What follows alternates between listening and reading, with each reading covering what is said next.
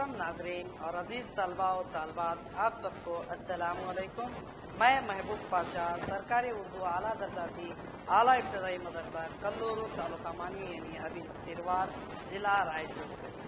आज इस online class में आप सब का दिल की गहराई से इस्तेकाल करता हूँ। तो अज़ीज़ बच्चों, सबसे पहले आप सब अपने पास अपने करीब एक नोटबुक एक कलम और अपनी अब तुम जमाती दरसी किताब अपने पास रख ले, ताकि क्लास के वक्त सबक की अहम और ज़रूरी नुकात आसानी से अपनी नोटबुक में दर्ज कर सके। तो बच्चों, अभी आपको एक हातिम की जो पिछले सेशन में, इनके पिछले निशस्त में मैंने आपको हातिम की सखावत आधा सबक पढ़ाया था। तो अब हम हातिम की सखावत का एक हिस्सा देखेंगे, जो आपके स्क्रीन पर मौजूद है। बच्चों, इस हातिम की सखावत के एक हिस्से को सुनाता हूँ। हातिम ताही का एक तेज रफ्तार का घोड़ा, जो बिजली की गरज की तरह और सभा की तेज़ी वाला, यानी धुआंधार घोड़ा था। बहुत ही तेज दौड़ता था। और क्या है? जो दौड़ता तो जंगलों, पहाड़ों पे अवले बरसता, यानी ओले बरसता। गोया के अबर बहार है। दौड़ते हुए हवा को भी आजीज करके पीछे छोड़ देता हवा से भी तेज घोड़ा दौड़ता था हाथी। और यहाँ तक के शाम रोम के सामने रोम के पूर्व ममालिक में इस घोड़े की तारीफें होने लगे के जंगलों को ऐसे तय करता है जैसे कश्ती पानी को कश्ती पानी समंदर पर जैसे कश्ती पानी को और उसकी रफ्तार से ज़्यादा को को भी नहीं हो सकता। बादशाह ने, वज़ीर को कहा यानी शुरू के शाम का बादशाह ने अपने वज़ीर से कहा, क्या कहा कि बेदलील दावा तो शर्मिंदगी होता है तो जा, तू जा। और हातिम से वही घोड़ा मांग, जो हवा की तरफ़ तेज रफ्तार बढ़ता नहीं, वही घोड़ा मांग। अगर दे देगा तो उसकी सखावत के चर्चे हक समझो। और वरना खाली ढोल की आवाज़ लेने के सिर्फ़ बात है, काम नहीं है। तो ये बादशाह कहता है। फिर क्या होता है? चुनाचा दस अफराद का काफिला कबीला बनी तो क्या करते हातिम के यहाँ चले जाते हैं, रवाना होते हैं। हातिम के वहाँ पहुँचते ही हातिम ने दस्तरखान बिछाया हातिम ने क्या किया? मेहमान नवाजी के लिए दस्तरखान बिछाया और एक घोड़ा जबा किया। फिर उनको गोश्त खिलाया। और रात गुजरने के बाद अलविदा कहते वक्त जैसे ही वो दस अफराद का कबीला, रात गुजरने के बाद अलविदा कहते वक्त इनामात से भी नवाजा हाकिम हाकिम ने इनामात भी दिए। वज़ीर ने जुर्रात की और मजकूर घोड़ा मांगा तो जैसे ही हातिम से घोड़ा मांगा तो क्या हुआ?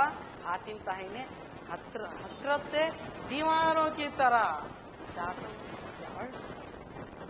दिया यानी के दांतों से हाथ काटा और कहा, आपने पहले क्यों नहीं बताया?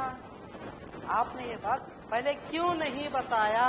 रात को मैंने तुम्हारे लिए वही जो घोड़ा जो घोड़ा आपको गोश्त खिलाया, वही घोड़े का गोश्त है जिसको सुबह करके तुम्हारा तुम्हें रात को खिलाया है। फिर, क्योंकि घोड़ों की चरागा यानी चराने की जगह बहुत दूर थी और बारिश की वजह से मैं वहाँ ना जा सका और उसके अलावा कोई घोड़ा पास ना था कि मेहमान नवाजी को बुलाऊं और दस्तरखान पर गोश्त के बिना कैसा दावत हो इसलिए मैंने कोई घोड़ा नहीं था तो उसी घोड़े को जबा करके खिला दिया। मैंने मरवत के खिलाफ जाना के तुम फाके में सो जाओ और मैं घोड़ा बचा लू। और मैं ऐसे कैसे करता? मैं तो नेक बंदा हूँ, अल्लाह का बंदा हूँ, कि मैं आप सबको रात को सुलाऊं और घोड़े से बचा कर लेके जाऊँ। मुझे तो नेक नामी चाहिए, ना के उमदा घोड़ा। उमदा घोड़ा नहीं, बल्कि मुझे क्या है? नेक नामी चाहिए अच्छा नाम चाहिए दुनिया में। जब एक खबर रोमी पहुँचे तो बादशाह ने हज़ार आपने कहे तो उसकी बात सुनकर बहुत खुश हो गया। तो बच्चों, इस एक हाथी की सखावत इस किस्से से हमें सबक क्या मिलता है? मेहमान नवाजी के लिए अपने अज़ीज़ तरीन मथा भी कुर्बान करनी पड़े तो उससे दरीक ना करना चाहिए। यानी अगर हम मेहमान नवाजी करना पड़ते हैं तो उससे पीछे नहीं हटना चाहिए। उससे जो नेक नाम हासिल होती है पैगंबर इस्लाम ने भी उसकी तारीफ़ फरमाई है। यानी हमारे मोहम्मद की तारीफ़ फरमाई है कि जब मेहमान नवाजी कर रहे हैं तो हमें उसमें देर नहीं करना चाहिए, कोई भी रिकॉर्ड नहीं करना चाहिए। मेहमान अल्लाह का एक फरिश्ते की तरह होता है। तो बच्चों, चलिए, अब आप यहाँ स्क्रीन पर एक तस्वीर देख रहे हैं। ये तस्वीर, बच्चों, ये जो तस्वीर में है मौजूद, इस तकलीफ़ कार का नाम क्या है? हाँ जो पहले निशिस्त में पढ़ा था, जी बिल्कुल हातिम की सकावत जो सबक लिखा था, वही तकलीफकार की तस्वीर है। क्या नाम है? मीर अमन दहलवी वेरी गुड अब दूसरी तस्वीर देखो बच्चों। ये देखो, जो तस्वीर में मौजूद किताब है तो इस किताब को किसने लिखी? बागो बहार जो किताब है, इसको किसने लिखी? हाँ बिल्कुल सही कहा। इस किताब को मीर अमन दहलवी ने लिखी, जो फारसी से उर्दू में तर्जुमा किया था। वेरी गुड तो बच्चों, अब इन सवाल के जवाब दीजिए। पहला सवाल अरब के बादशाह का नाम क्या था? जी, बिल्कुल है जवाब। अरब के बादशाह का नाम क्या? नौफिल था। वेरी गुड माशाल्लाह। अब दूसरा सवाल, हातिम गार में क्यों छुप गया? यस बहुत तेज है आपका दिमाग। वेरी गुड क्यों छुप गया? यस हातिम गार में इसलिए छुपा कि खुदा के बंदों की खून रेजी हो जाना पड़ेगा। उससे बचाने के लिए वो हातिम गार में छुप गया। वेरी गुड तो बच्चों, तीसरा सवाल। नौफिल बादशाह ने क्या मनादी करवाई? नौफिल बादशाह ने मनादी का मानी क्या है? दंडूरा। क्या दंडूरा करवाई? यस सही जवाब। नौफिल बादशाह ने हातिम को दंडूरा कराई के जो भी हातिम को पकड़ कर लावेगा, पाँच सौ अशरफी सरकार से इनाम पावेगा। माशाल्लाह, बहुत सही, दुरुस्त जवाब। और आखिर जवाब कार के पास पहुंचकर बुढ़िया अचानक क्या बोली? क्या बोल पड़ी? यस, क्या बोली गार के पास जाकर? जी, बिल्कुल सही है। गार के पास पहुंचकर बुढ़िया ने बोली के, अगर हातिम हमारे हाथ आवे और बादशाह हमें पाँच सौ अशरफी का नाम देवे अगर हातिम को पकड़ के देंगे तो बादशाह क्या करेगा हमें पाँच सौ अशरफी से नवाजेगा यस, बिल्कुल सही जवाब। तो बच्चों, आप सब अभी तक जो सबक को सुना था, पहले निशस्त में आज हम क्या करेंगे? जो हफ्तुम जमात की उर्दू निसाबी किताब का जो आठवां सबक है, हातिम की सखावत, उस सबक का मुसलसल जारी करता सबक को पढ़ने जा रहा जा रहे हैं। समाप्त फरमाइए, जो पेज नंबर साठ पर मौजूद है। तो बच्चों, जल्दी जल्दी अपनी दर्शी किताब निकालो और सफ़ा नंबर साठ। ठीक है, निकालें। ओके? अच्छा ठीक है। तो अब क्या करें हम? सबक की बुलंद खानी करेंगे। तैयार है ना बच्चों? तैयार है? तो चलिए बच्चों, आज हम क्या करेंगे? जो नया सबक है, जो दूसरी निशस्त है हातिम की सखावत के बारे में जानकारी हासिल करेंगे। और सबसे पहले हम इस सबक के इसलाही तदरीस के अहम नुकात जानेंगे कि इस सबक में हम क्या क्या जानकारी हासिल करते हैं। सबसे पहले हम तकलीफ़ कार, मीर अमन दहलवी का तारुफ, जो हम पिछले पढ़े थे, उसके सिर्फ़ एक दो जानकारी हासिल करेंगे। और उसके बाद में हातिम की सकावत की बुलंद खानी होगी। अच्छा बुलंद खानी के बाद मुश्किल अल्फाज और मानी। उसके मुश्किल अल्फाज और मानी होगी और फिर सबक की मुकम्मल जानकारी होगी। जो भी हम बुलंद खानी करेंगे, उसके लिहाज से जानकारी देंगे। और फिर सबक की बुलंद खानी और उसके मुश्किल अल्फाजबानी के बाद में उस सबक के लिहाज से मशक़ी सवाल होंगे। और मशक़ी सवाल के बाद में कुछ सरगर्मी दिया जाएगा और कुछ मारूफी सवाल भी आपको दरकार होंगे और फिर उस सबक का इरादा करेंगे और आखिर को घर का काम दिया जाएगा। तो चलिए बच्चों, अब आप सब लोग अपनी हफ्तुम जमात की दरसी किताब निकालिए और अब हम इसकी बुलंद फानी करेंगे और उस बुलंद फानी करते जब अपनी उंगली को हर एक जुमले के ऊपर रखना भूलिए मत। तो बच्चों, तैयार है ना आप सब लोग? चलिए, अब देखिए हातिम की सखावत सबक की बुलंद फानी तो रेडी है? अच्छा। गर्ज हातिम की जवा मर्दी ने नाकबूल किया के अपने कानों से सुनकर चुपका हो रहे। वो नहीं, बाहर निकल आया और उस बूढ़े से कहा के अय अज़ीज़ हातिम मही हूँ। मेरे तय नौफिल के पास ले चल। वो मुझे देखेगा और जो कुछ रुपये देने का करार किया है तुझे देवेगा। पीर मर्द ने कहा, क्या सच है कि इस सूरत में भलाई और बहबूदी मेरी अलबत्ता है? लेकिन वो क्या जानिए तुझसे क्या सलूक करे? अगर मार डाले तो मैं क्या करूँ? ये मुझसे हरगिज ना हो सकेगा। तुझसे इंसान को अपनी तमा की खातिर दुश्मन के हवाले कर दूँ। वो माल के दिन दिन खाऊँगा और कब तक जीऊँगा? आखिर मर जाऊँगा, तब खुदा को क्या जवाब दूँगा? हातिम ने बेहतरीन बेहतरीन मिन्नत की कि मुझे ले चल, मैं अपनी खुशी से कहता हूँ और हमेशा इसी आजू में रहता हूँ कि मेरा जानो माल कसो के काम आवे तो बेहतर है। लेकिन वो बूढ़ा कसो तरह राज़ी ना हुआ कि हातिम को ले जावे।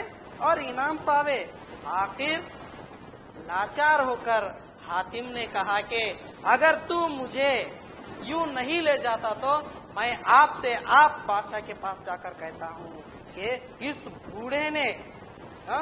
इस बूढ़े ने मुझे जंगल में एक पहाड़ की खो में छुपा रखा था वो बूढ़ा हंसा और बोला, भलाई के बदले बुराई मिले तो या नसीब इस रद्दो बदल के सवाल जवाब में आदमी और भी आन पहुँचे। भीड़ लग गई। ये जो गुफ्तगु में भीड़ लग गई, इन्होंने मालूम किया कि हातिम यही है। तुरंत पकड़ लिया और हातिम को ले चले।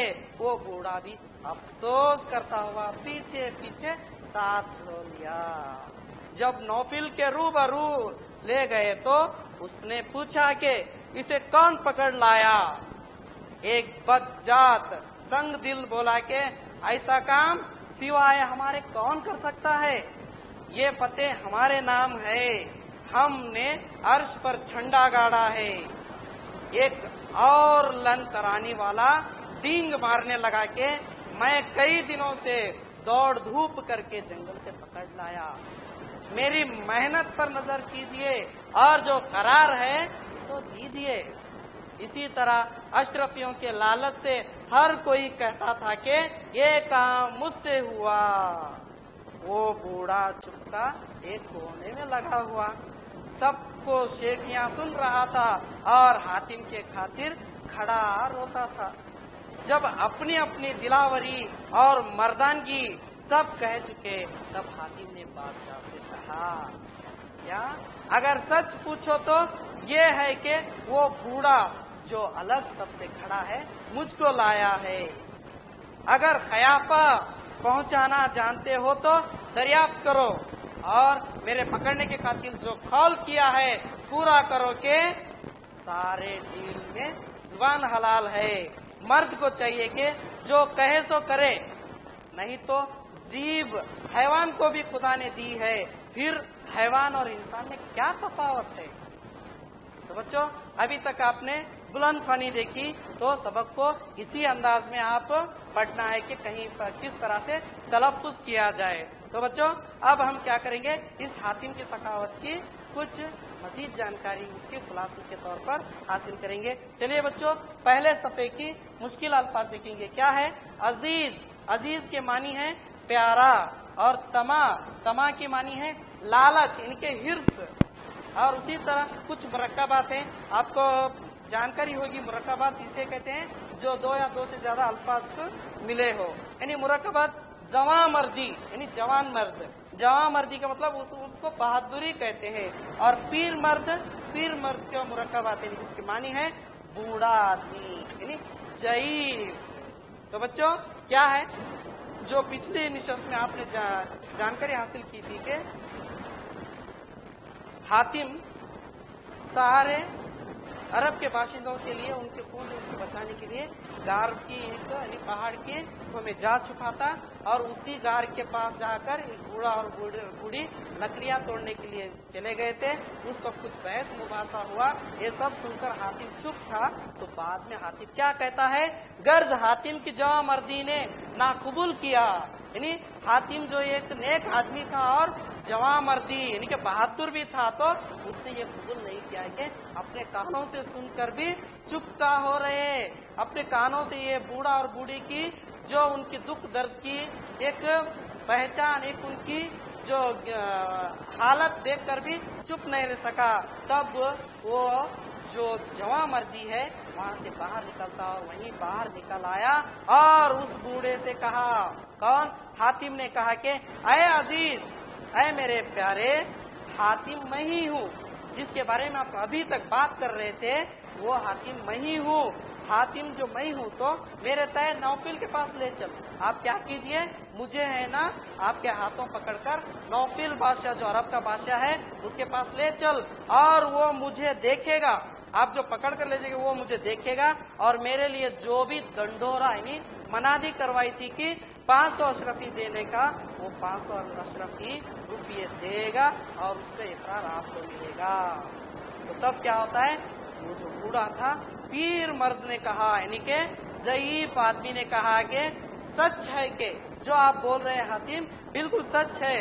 इस सूरत में भाई और बहबूदी मेरी अलबत्ता है।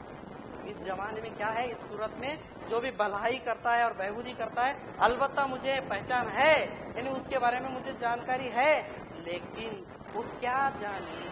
यानी अगर मैं आपको पकड़कर बादशाह के पास नौकरी के पास ले जाऊँगा, वो क्या जानिए तुझसे क्या सलूक करे? वो तुझे क्या सलूक करेंगे? अगर मार डाले तो मैं क्या करूँ? अगर तुझे पकड़कर मैं सिर्फ़ इनाम के खातिर ले जाकर दे लूँगा। तो वो सुलूक क्या करेंगे? और तुझे मार डालेंगे तो मैं क्या करूँ? मुझसे हरगिज ना हो सकेगा। ये काम मुझसे हरगिज ना सकेगा। उसने कहा, उस बूढ़े ने हातिम से कहा। और फिर तुझसे इंसान को अपनी तमा की खातिर, यानी तुझसे, यानी हातिम से इंसान को अपनी तमा यानी के नसीब लालच, हिर्स के लिए अपनी लालच के खातिर दुश्मना के हवाले कर दू? तो वो बुरा इंसान उस हातिम से कहता है कि क्या मैं अपनी लालच के लिए तुझे लेकर वहाँ पे नौफिल के हवाले कर दू? वो माल जो हवाले करो, यानी के धोखे से तुझे उस नौफिल बादशाह के हवाले करूँ और उस दिन का खाऊं? और तब तक इस तरह का माल खाते मैं जीऊँगा। और आखिर मर जाऊँगा। मैं आखिर मर जाऊँगा, तब खुदा को क्या जवाब दूँगा कि मैं इस तरह एक नेक और खुदाबंद बंदे को पकड़कर एक नौफिल बादशाह गद्दार को दे दिया था। ये मुझसे हरगिज नहीं होगा। उस पीर बूढ़े ने आखिर से वाकिफ होकर कहा, फिर दूसरे मिश्र के कुछ मुश्किल अल्फाज है। सुनिए, कसों कसों की मानी है किसी को, यानी किसी का तुर्त तुर्त के मानी है फ़ौरन यानी कि जल्दी। एक कुछ ज़ुबान है जो उत्तर कर्नाटक के और उसी तरह मुरक्कबात मुरक्कबात के मतलब मालूम है यानी कि बेहतरीन मिन्नत, यानी बहुत ज़्यादा आजजी करने वाला, बहुत ही रिक्वेस्ट करने वाला और लाचार। लाचार की मानी है बेबस हार कर मजबूर होकर। आपसे आप, यानी खुद ब खुद। मेरा ही मैं, कहते ना तो आपसे आप। और रद्दो बदल। रद्दो बदल का मतलब उलट पलट यानी तकरार करना है। तो चलिए बच्चों, और दूसरा में क्या है यहाँ पे? प्यारा में, हातिम ने बेहतरीन मिन्नत की। हातिम क्या किया? उस बूढ़े की दुख दर्द की कहानी सुनकर बहुत ही मेहनत की कि मुझे ले चल। लेकिन उसकी मिन्नत की कि मुझे ले चल, मैं अपनी खुशी से कहता हूँ और हमेशा और हमेशा इसी आरज़ू में रहता हूँ कि मेरा जानो माल कसों के काम आए। तो हातिम कहता है कि मैं अपनी खुशी से और अपनी राज़ी से जाता हूँ। क्या है? मैं खुशी से किसी के जानो माल का कुर्बान कर दूँगा और इंसान हो किसी दूसरों का काम आऊँगा। तो बेहतर है। लेकिन वो बूढ़ा कसो तरह, वो बूढ़ा किसी भी तरह से राज़ी ना हुआ। बूढ़ा भी बहुत ही नेक था तो किसी भी तरह राज़ी ना हुआ के हातिम को ले जावे और इनाम पावे।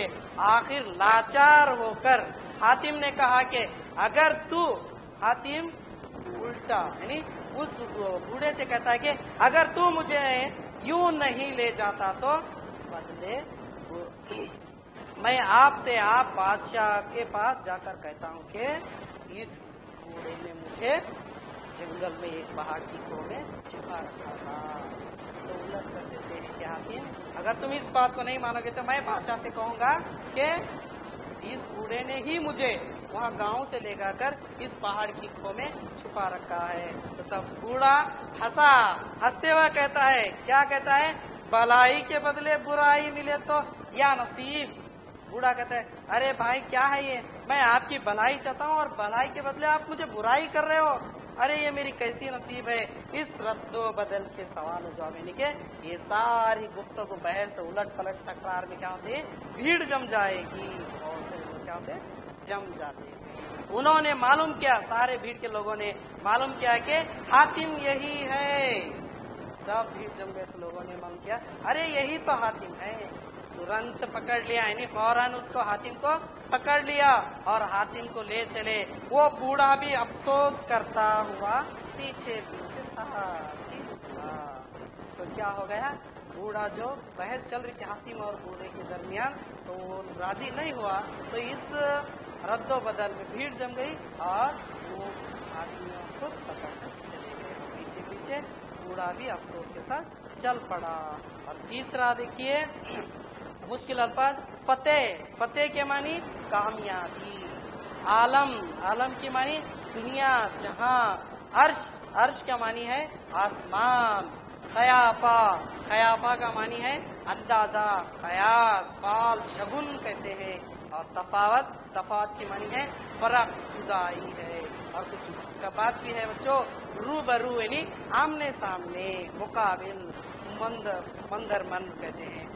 बदजात बदजात का मतलब कमीना कम जात वाला, शरीर शरीर कहते हैं। और संग दिल का मतलब बेरहम, जालिम है। और उसी के साथ दौड़ धूप। देखिए, दौड़ धूप का मतलब मेहनत, मशक्कत और कोशिश है। दिलावरी दिलावरी की मानी है बहादुरी, शुजात है। और बल बले बल बले के मानी वाह वाह। खूब मरहबा। तो बच्चों, देखिए, जब नौफिल के रूबरू लेके सारे लोग है नी जो भीड़ के लोग पकड़कर, हाथी को पकड़कर जब दरबार में चले गए तो नौफिल के रूबरू ले गए। इसने पूछा के, इसे कौन पकड़ लाया? बादशाह पूछता है हाथी को कौन पकड़ लाया? एक बदजात, यानी के कमीना इंसान कहता है। क्या कहता है? संग दिल वाला ऐसा काम सिवाय हमारे कौन कर सकता है? यानी इसको पकड़ने का हम सिवाय हमारे साथ कौन कर सकता है? ये पते हमारे नाम है। यानी इस जीत को मैंने किया है और अर्श पर झंडा भी मैंने गाड़ा है। एक और करानत वाला डेंग मारने लगा और दूसरा आदमी ज़ोर से चिल्लाकर कहने लगा, क्या? मैं कई दिनों से दौड़ धूप करके जंगल से पकड़ लाया।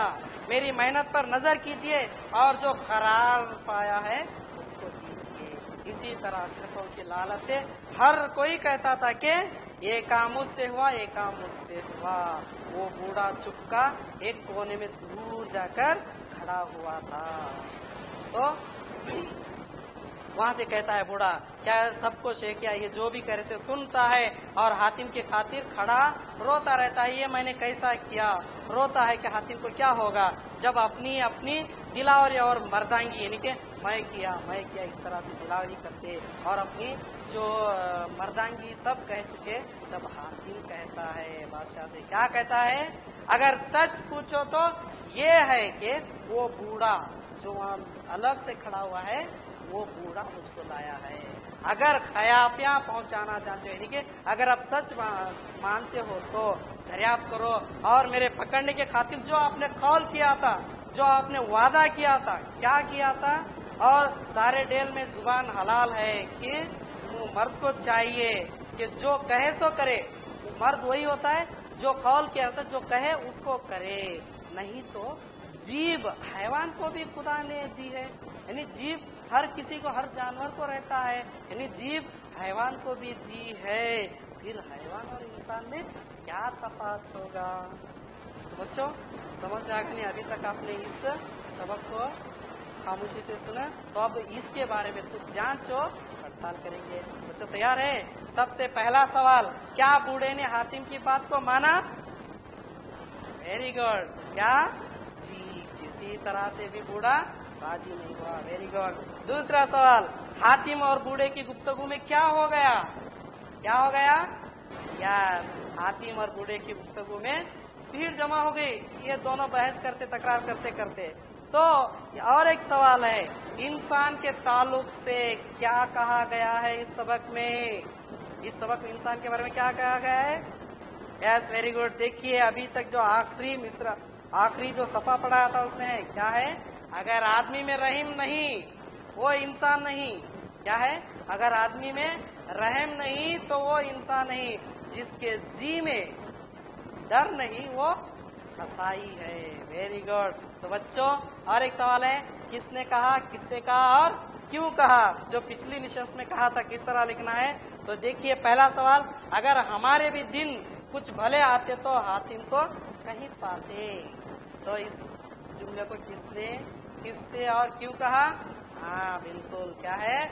इस जुमले को हातिम की सखावत सबक से लिया गया है। और इस जुमले को बुढ़िया ने बूढ़े से कहा, क्या पहाड़ वाले उस जंगल के पास लगते हैं? चुनने गए थे उस वक्त अपनी तकलीफ़ की, दुख दर्द वाली कहानी बताते हुए इस जुमले को कहा। वेरी गुड अब दूसरा सवाल। हमारे ताले में यही लिखा है कि रोज लकड़ी तोड़े और सर पर धरे बाज़ार में बेचे। क्या है इसका जवाब? वेरी गुड जो स्क्रीन पे है, क्या है? इस जुमले को हातिम की सखावत नामी सबक से दिया गया है और इस जुमले को बूढ़े ने अपनी बुढ़िया से कहने लगा, क्या? वो अपने दुख दंड वाली जो ज़िंदगी से बचने के लिए हातिम को पकड़कर आराम से रहने के बारे में बात कर रहे थे और उसकी ख्वाहिश भी कर रहे थे ना, उसकी औकात जब याद आती तो इस जुमले को कहा वेरी गुड और आखिर एक है, सच है कि इस सूरत में भलाई और बहबूदी मेरी अलबत्ता है। इस जुमले को किसने कहा? हाँ बिल्कुल हातिम की सखावत सबक में लिया गया है। और इस जुमले को यस, पीर मर्द उस जुमले ने इससे आपको कहा के इस जुमले इसलिए कहा, क्योंकि अगर हाकिम को पकड़ कर ले जाए तो ना जाने उसके साथ क्या सलूक करेगा, नौफिल बादशाह, उसको मार डालेगा तो क्या करूँगा? सही है ना? यस वेरी गुड बहुत खूब। तो बच्चों, अब एक मुनासिब अल्फाज से इन जुमलों को खाली जगहों पर पुर कीजिए। तो बच्चों, बताइए, अब यहाँ कुछ जदुल दिया गया है नीचे। इसमें अल्फाज चुनकर खाना पूरी करना है। पहला सवाल, बहुत सी डैश जमा कर कर खातिर चढ़ाया। क्या है? बहुत सी यस क्या है? बहुत सी फौज क्या है? यहाँ है फौज जमा कर कर। वेरी गुड फिर क्या है? लड़ाई खातिर चढ़ाया है। सुपर दूसरा सवाल तन तनहा अपनी डैश लेकर एक पहाड़ की डैश में जा छुपा। हाँ क्या था? तन तनहा अपनी क्या लेकर? यस। क्या है? जान लेकर एक पहाड़ की खो में जा छुपा। वेरी गुड अब इसको पकड़कर डैश के पास ले जाते वो 500 डैश देता, क्या देता? इसको पकड़कर किसके पास? यस, सही जवाब नौफिल के पास ले जाते और कितने अशरफिया? पाँच सौ अशरफिया देता। वेरी गुड माशाल्लाह। और चौथा है खानापुरी। दर्द, डैश के वास्ते डैश किया इंसान को। क्या है? दर्द, दिल के वास्ते, सही जवाब और क्या है? हाँ पैदा किया इंसान को, सही जवाब एक पांचवा अज़ीज़, डैश मैं ही हूँ। कौन? हातिम मैं हूँ वेरी गुड छठा हातिम मेरी डैश, आप ही आप चला गया। क्या? हातिम मेरी वेरी गुड सातवा, वाह रे तेरी डैश, अपनी डैश का भी डैश ना किया। वाह रे तेरी, यस, सखावत, अपनी जान का भी खतरा ना किया। वेरी गुड और आठवा, बहुत आदमी झूठ मूठ बके जाते हैं, लेकिन डैश के वक्त तड़पाते हैं। क्या आता जा सही। आजमाइश के वक्त तड़पाते हैं। नवा खानापुरी, हातिम का हाथ, बड़ी दोस्ती और ड्यास से पकड़ लिया। नौफिल बादशाह कैसे? यस, हातिम का हाथ, बड़ी दोस्ती और गरम चूसी से पकड़ लिया। ठीक है बच्चों तो अब देखिए, इतनी देर तक आपने जो ये दूसरी निशस्त हातिम की सखावत के बारे में सुना तो अब कुछ घर का काम है। गौर से सुनिए, यहाँ कुछ अहम बात है। क्या है? दो या दो से ज़्यादा लफ्जों का मजमुआ। कितने? दो या दो से ज़्यादा लफ्ज, यानी अल्फाजों का मजमुआ, जिसे हकीकी मानी के बजाय, जो अल्फाज रहते वो मानी नहीं रहते। दोनों मिलकर हकीकी मानी के बजाय, मिजाजी मानी में इस्तेमाल किया जाए। यानी दूसरा एक मानी आता है तो उसको महावरे कहलाता है। यानी के उसका जो अल्फाज का मानी नहीं रहता, बल्कि दो अल्फाज मिलकर एक और नया मानी आता है तो उसे क्या कहते हैं? महावरे कहते हैं। तो उस तरह यहाँ कुछ महावरे थे। दर्जेल महावरे को पाँच मरतबा लिखकर याद कीजिए। इन महावरों को याद रखना बहुत ज़रूरी है बच्चों। जैसे कि पहला महावरा है, ठंडी सांस। यानी के बुढ़िया ने बड़बड़ करते रहती तो तब बूढ़ा कहता है कि क्या बड़बड़ करती है? अपना काम कर तो तब क्या करती है बुढ़िया? ठंडी सांस लेती है। यानी ठंडी सांस का मतलब हा भरना अफसोस करना। अरे, क्या है हमारे ज़िंदगी देखिए यहाँ ठंडी अलग है, सांस अलग है। ठंडी का मतलब सर्दी, सांस का मतलब सांस लेना। तो ऐसा है, नहीं, दोनों मिलकर एक नया मिजाजी मानी आता है। तो इसे क्या कहते हैं हम? महावरय कहते हैं। यानी कि ठंडी सांस का पानी है, आह भरना, अफसोस करना। और दूसरा है, अर्श पर झंडा गाड़ना यानी गढ़ना। अर्श पर झंडा गढ़ना का मतलब क्या है? उसका मुहावरे का मतलब है, बहुत रुआब होना। यानी रुआब बताना कि मैं हूँ मैं हूँ। जो वहाँ कह रहा था एक आदमी, जब हातिम को पकड़कर नौफिल बादशाह के दरबार में जाता तो इसको कौन पकड़ा? तो वो अर्श पर झंडे गढ़ने की तरह कहता है कि इसको मैंने पकड़ा। यानी कि रुआब बताना। यानी खुश आमद करना, मैं किया, मैं क्या बोल के मैंपन बताने को हम क्या कहते हैं? अर्श पर झंडा गढ़ना कहते हैं। और आखिर एक है, जानो माल को रोना।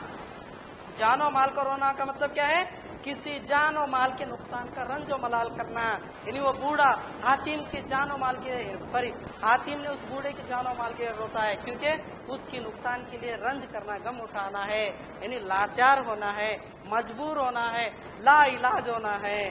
तो चलिए बच्चों, आप सब लोग ने हातिम की सखावत की दूसरी निशस्त में खामोशी से इस वीडियो लेसन को सुना आप सबका बहुत बहुत शुक्रिया अदा करते हुए। इंशाल्लाह हम अगले सेशन में मिलेंगे। शुक्रिया। अल्लाह हाफिज़।